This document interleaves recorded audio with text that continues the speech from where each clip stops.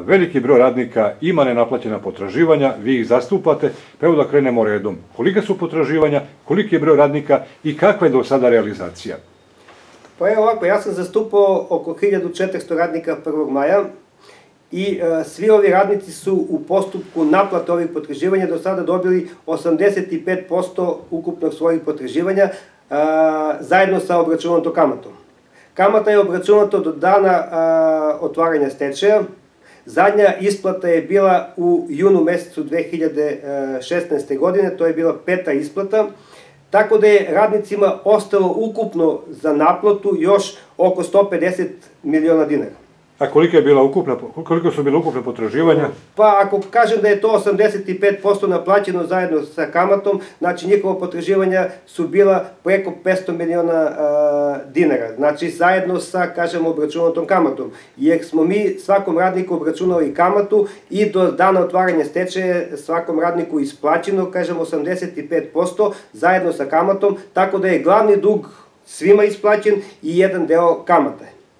Ostalo je nenaplaćeno 153 miliona dinara, s tim što je od dana otvaranja stečaja izvršena prijava potraživanja ovih radnika u stečajnu masu i ovi radnici su prijavljeni za preko 100 miliona dinara a, svojih potraživanja u stečajnu masu.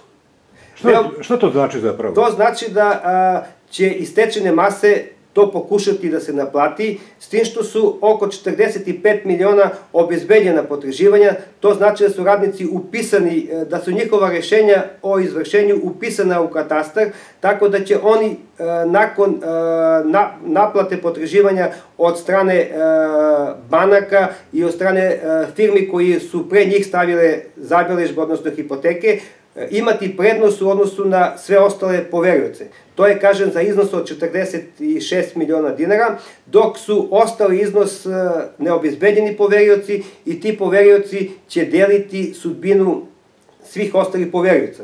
Bitno je da se kaže ovde da su svi radnici uh, se složili da i sve, e, sva ova sredstva koje dođu iz tečija dele srazmerno svojim potraživanjima, tako da će sva ova sredstva kada se budu naplatila biti podeljena svim radnicima, znači na svih 1400 radnika srazmerno njihovim e, potraživanjima. To znači da se očekuje da radnici veći deo svojih potraživanja koji su imali prema 1. maju, a to je da podsjetim razlika između minimalne zarade i ostvarene zarade, da bude naplaćena. Možda neće naplatiti svih 100%, ali to sad isključivo zavisi od prodaje imovine u stečaju. Znači, 1. maj ostao je kod 1. maja u stečaju veći deo imovine, odnosno imovina koja se tiče celokupnog proizvodnog dela, ostali su još neke prodavnice i nakon prodaje od strane Agencije za licenciranje stečenih upravnika, odnosno stečenog upravnika, vidjet će se koji će se deo namiriti od ovih ostalih potraživanja.